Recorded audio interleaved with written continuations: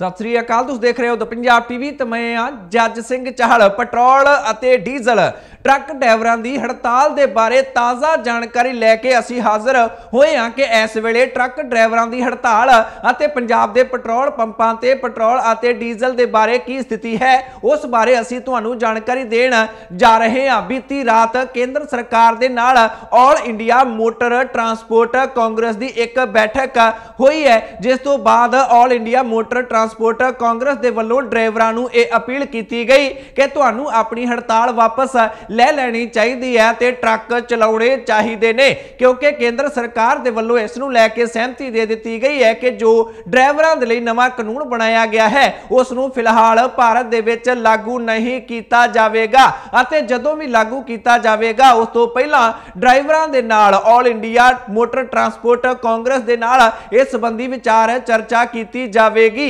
ਇਸ ਕਰਕੇ ਇਸ ਜਥੇਬੰਦੀ ਦੇ ਵੱਲੋਂ ਪੂਰੇ ਭਾਰਤ ਦੇ ਵਿੱਚ ਟਰੱਕ ਡਰਾਈਵਰਾਂ ਨੂੰ ਇਹ ਅਪੀਲ ਕੀਤੀ ਗਈ ਕਿ ਆਪਣੀ ਹੜਤਾਲ ਖਤਮ ਕਰ ਦੇਵੋ। ਕੇਂਦਰ ਸਰਕਾਰ ਦੇ ਗ੍ਰਹਿ ਸਕੱਤਰ ਅਜੇ ਭੱਲਾ ਦੇ ਵੱਲੋਂ ਵੀ ਇਸ ਸੰਬੰਧੀ ਇੱਕ ਬਿਆਨ ਜਾਰੀ ਕੀਤਾ ਗਿਆ, ਜਿਸ ਦੇ ਵਿੱਚ ਉਹਨਾਂ ਨੇ ਵੀ ਜਾਣਕਾਰੀ ਦਿੱਤੀ ਕਿ ਸਾਡੀ ਇਨ੍ਹਾਂ ਜਥੇਬੰਦੀਆਂ ਦੇ ਨਾਲ ਗੱਲਬਾਤ ਹੋ ਗਈ ਹੈ ਅਤੇ ਜੋ ਨਵਾਂ ਕਾਨੂੰਨ ਡਰਾਈਵਰਾਂ ਲਈ ਬਣਾਇਆ ਗਿਆ ਹੈ ਉਸ ਨੂੰ ਅਜੇ ਭਾਰਤ ਦੇ ਵਿੱਚ ਲਾਗੂ ਨਹੀਂ ਕੀਤਾ ਜਾਵੇਗਾ। ਇਸ ਕਰਕੇ ਅਸੀਂ ਵੀ ਸਾਰਿਆਂ ਨੂੰ ਅਪੀਲ ਕਰਦੇ ਹਾਂ ਕਿ ਆਪੋ ਆਪਣੀ ਹੜਤਾਲ ਵਾਪਸ ਲੈ ਲਓ, ਕਿਉਂਕਿ ਜੋ ਟਰੱਕ ਡਰਾਈਵਰਾਂ ਦੇ ਵੱਲੋਂ ਹੜਤਾਲ ਕੀਤੀ ਗਈ ਸੀ ਉਸ ਦਾ ਸਭ ਤੋਂ ਛੇਤੀ ਅਤੇ ਜ਼ਬਰਦਸਤ ਅਸਰ ਪੈਟਰੋਲ ਅਤੇ ਡੀਜ਼ਲ ਨੂੰ ਲੈ ਕੇ ਵੇਖਣ ਨੂੰ ਮਿਲਿਆ ਸੀ, ਕਿਉਂਕਿ ਪੈਟਰੋਲ ਅਤੇ ਡੀਜ਼ਲ ਸਪਲਾਈ ਕਰਨ ਵਾਲੇ ਕੈਂਟਰ ਡਰਾਈਵਰਾਂ ਦੇ ਵੱਲੋਂ ਵੀ ਹੜਤਾਲ ਕਰ ਦਿੱਤੀ ਗਈ ਸੀ। ਭਾਰਤ ਦੇ ਬਹੁਤ ਸਾਰੇ ਸੂਬਿਆਂ ਦੇ ਵਿੱਚ ਇਸ ਦਾ ਅਸਰ ਵੇਖਣ ਨੂੰ ਮਿਲਿਆ।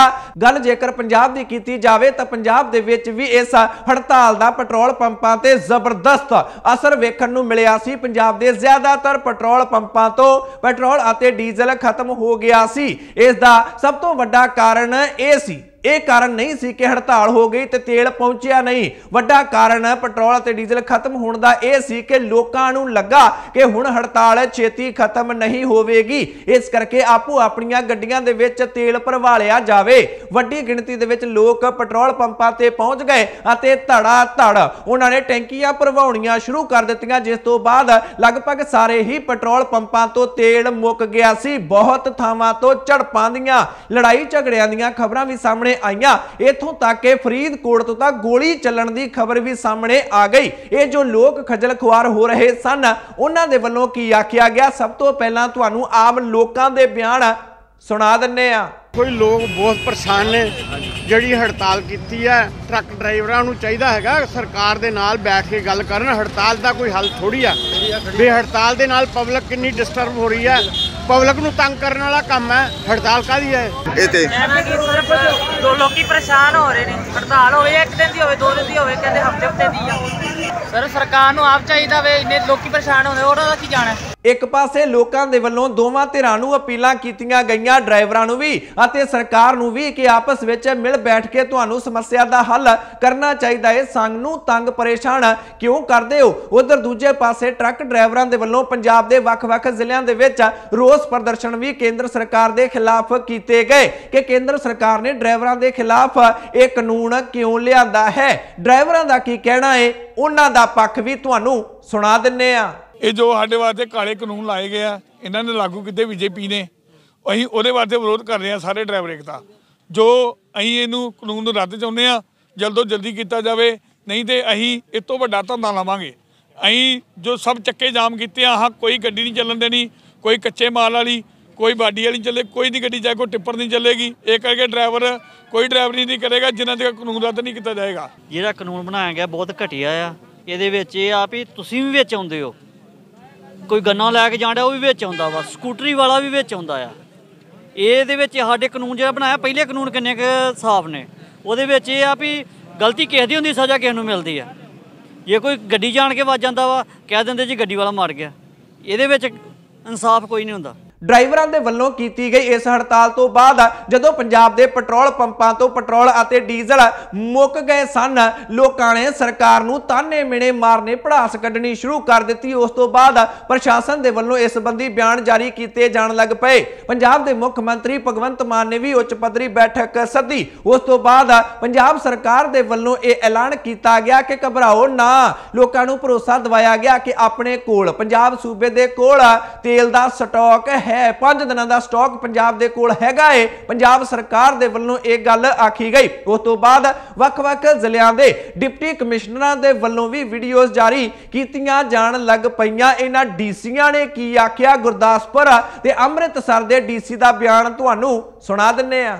ਮੈਂ ਤੁਹਾਨੂੰ ਸਾਰੇ ਅੰਮ੍ਰਿਤਸਰ ਨਿਵਾਸੀਆਂ ਨੂੰ ਆਸ਼ਵਾਸਨ ਦੇਣਾ ਚਾਹੁੰਦਾ ਕਿ ਇੱਕ ਤਾਂ ਤੇਲ ਦੀ ਸਪਲਾਈ ਲਾਈਨ ਬਾਰੇ ਕੋਈ ਵੀ ਕਮੀ ਨਹੀਂ ਹੈ। ਤੋ ਕਿਸੇ ਨੂੰ ਵੀ ਪੈਨਿਕ ਦੇ ਵਿੱਚ ਆ ਕੇ ਬਾਇੰਗ ਦੀ ਲੋੜ ਨਹੀਂ ਹੈ। ਇਸ ਤੋਂ ਇਲਾਵਾ ਵੀ ਅਸੀਂ ਜਿਹੜਾ ਸਾਡਾ ਫੂਡ ਸਪਲਾਈ ਮਹਿਕਮਾ ਹੈ, ਜਿਹੜਾ ਕਿ ਓਵਰਆਲ ਤੇਲ ਦੀ ਸਪਲਾਈ ਤੇ ਪੈਟਰੋਲ ਪੰਪਸ ਨੂੰ ਸੁਪਰਵਾਈਜ਼ ਕਰਦਾ ਹੈ, ਉਹਨਾਂ ਦੀ ਵੀ ਸਾਰੇ ਥਾਵਾਂ ਤੇ ਡਿਊਟੀ ਲਗਾਈ ਗਈ ਹੈ ਵੀ ਕੋਈ ਵੀ ਬਲੈਕ ਮਾਰਕੀਟਿੰਗ ਜਾਂ ਹੋਰਡਿੰਗ ਕਿਸੇ ਵੀ ਪੈਟਰੋਲ ਪੰਪ ਓਨਰਸ ਵੱਲੋਂ ਨਾ ਕੀਤੀ ਜਾਵੇ।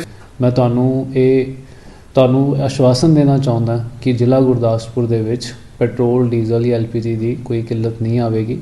ਪੂਰਾ ਪ੍ਰਸ਼ਾਸਨ ਇਸ ਵੇਲੇ ਇਸ ਵੱਲ ਧਿਆਨ ਦੇ ਰਿਹਾ ਹੈਗਾ। ਭਾਵੇਂ ਕਿ ਇਨ੍ਹਾਂ ਪ੍ਰਸ਼ਾਸਨਿਕ ਅਧਿਕਾਰੀਆਂ ਦੇ ਵੱਲੋਂ ਲੋਕਾਂ ਨੂੰ ਲਗਾਤਾਰ ਅਪੀਲਾਂ ਕੀਤੀਆਂ ਗਈਆਂ ਕਿ ਘਬਰਾਉਣ ਦੀ ਕੋਈ ਵੀ ਲੋੜ ਨਹੀਂ ਹੈ, ਹਾਲਾਤ ਆਮ ਵਰਗੇ ਹੋ ਜਾਣਗੇ, ਪਰ ਇਨ੍ਹਾਂ ਅਧਿਕਾਰੀਆਂ ਦੀ ਗੱਲ ਆਮ ਲੋਕਾਂ ਦੇ ਵੱਲੋਂ ਬਿਲਕੁਲ ਨਹੀਂ ਸੁਣੀ ਗਈ ਅਤੇ ਲੋਕ ਆਪਣੀ ਚਾਲੇ ਚੱਲਦੇ ਦਿਖਾਈ ਦਿੱਤੇ ਅਤੇ ਧੜਾ ਧੜ ਪੈਟਰੋਲ ਪੰਪਾਂ ਤੇ ਲੋਕਾਂ ਦੇ ਵੱਲੋਂ ਲੰਮੀਆਂ ਲੰਮੀਆਂ ਲਾਈਨਾਂ ਲਾ ਦਿੱਤੀਆਂ ਗਈਆਂ, ਜਿਸ ਤੋਂ ਬਾਅਦ ਰਾਤ ਹੁੰਦਿਆਂ ਹੁੰਦਿਆਂ ਲਗਭਗ ਸਾਰੇ ਹੀ ਪੈਟਰੋਲ ਪੰਪਾਂ ਤੋਂ ਤੇਲ ਮਕਾਉਣ ਦਾ ਕੰਮ ਪੰਜਾਬ ਦੇ ਲੋਕਾਂ ਦੇ ਵੱਲੋਂ ਕਰ ਦਿੱਤਾ ਗਿਆ। ਲੋਕਾਂ ਨੂੰ ਇੰਜ ਜਾਪਿਆ ਕਿ ਕੇਂਦਰ ਸਰਕਾਰ ਇੰਨੀ ਛੇਤੀ ਨਹੀਂ ਚੁੱਕ ਸਕਦੀ ਹੈ, ਫਿਰ ਹੜਤਾਲ ਵੀ ਲੰਮੀ ਚੱਲ ਸਕਦੀ ਹੈ, ਪਰ ਕੇਂਦਰ ਸਰਕਾਰ ਦੇ ਵੱਲੋਂ ਆਪਣੇ ਇਸ ਕਾਨੂੰਨ ਨੂੰ ਹੋਲਡ ਤੇ ਲਾ ਲਿਆ ਗਿਆ ਹੈ। ਦਰਅਸਲ ਕੇਂਦਰ ਸਰਕਾਰ ਦੇ ਵੱਲੋਂ ਡਰਾਈਵਰਾਂ ਦੇ ਲਈ ਨਵਾਂ ਕਾਨੂੰਨ ਇਹ ਬਣਾਇਆ ਗਿਆ ਹੈ ਕਿ ਜੇਕਰ ਕੋਈ ਹਿੱਟ ਐਂਡ ਰਨ ਕਰਦਾ ਹੈ, ਭਾਵ ਸਾਈਡ ਮਾਰ ਕੇ ਜਾਂ ਫਿਰ ਕਿਸੇ ਨੂੰ ਟੱਕਰ ਮਾਰ ਕੇ ਉਥੋਂ ਡਰਾਈਵਰ ਭੱਜ ਜਾਂਦਾ ਹੈ, ਉਸ ਨੂੰ 7 ਲੱਖ ਰੁਪਏ ਜੁਰਮਾਨਾ ਅਤੇ 10 ਸਾਲ ਦੀ ਕੈਦ ਹੋ ਹੋਵੇਗੀ, ਜੇਕਰ ਉਹ ਮੌਕੇ ਤੋਂ ਫਰਾਰ ਹੋ ਜਾਂਦਾ ਏ,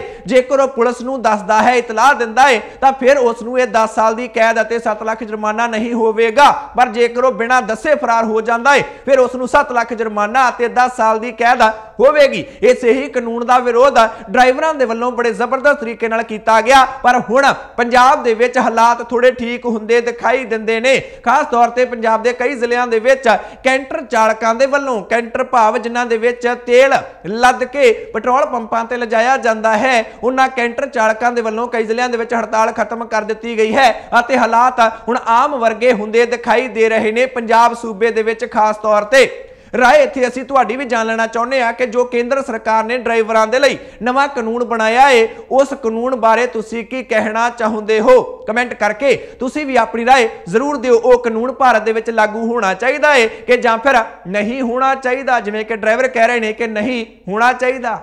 ਜੋ ਵੀ ਤੁਹਾਨੂੰ ਲੱਗਦਾ ਹੈ ਕਮੈਂਟ ਕਰਕੇ ਤੁਸੀਂ ਵੀ ਜ਼ਰੂਰ ਦੱਸੋ। ਜੇਕਰ ਇਸੇ ਤਰ੍ਹਾਂ ਹੀ ਹਰ ਖਬਰ ਨੂੰ ਨਿਰਪੱਖਤਾ ਨਾਲ ਵੇਖਦੇ ਰਹਿਣਾ ਚਾਹੁੰਦੇ ਹੋ, ਤਾਂ YouTube ਤੇ ਦਾ ਪੰਜਾਬ ਟੀਵੀ ਦੇ ਚੈਨਲ ਨੂੰ ਸਬਸਕ੍ਰਾਈਬ ਕਰ ਲਓ, Facebook ਤੇ ਪੇਜ ਲਾਈਕ ਕਰ ਲਓ। ਮੈਂ ਜੱਜ ਸਿੰਘ ਚਾਹਲ ਅਗਲੀ ਵਾਰ ਫਿਰ ਹਾਜ਼ਰ ਹੋਵਾਂਗਾ। ਤੁਸੀਂ ਦੇਖਦੇ ਰਹੋ ਦਾ ਪੰਜਾਬ ਟੀਵੀ ਹਰ ਖਬਰ ਦਾ ਸੱਚ।